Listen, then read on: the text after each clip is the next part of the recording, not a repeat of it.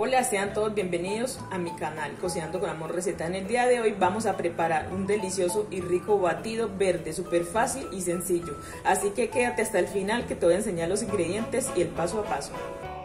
Vamos a utilizar medio vaso de agua, un pepino sin semillas, un pedacito de jengibre, dos manzanas verdes, un manojo de perejil liso, tres tallitos de apio y zumo de limón en medio vaso de agua.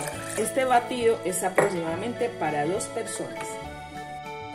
Añadimos el apio, añadimos el jengibre, añadimos la manzana verde, el manojo de perejil liso.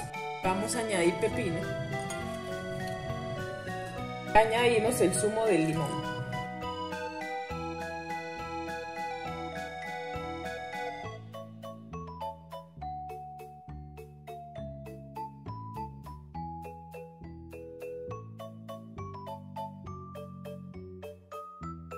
Y de esta manera me quedó este rico y delicioso batido verde. Yo me lo voy a tomar en ayunas durante 7 días. Es súper bueno porque te ayuda a limpiar todo tu cuerpo y va fabuloso porque te ayuda también a perder peso.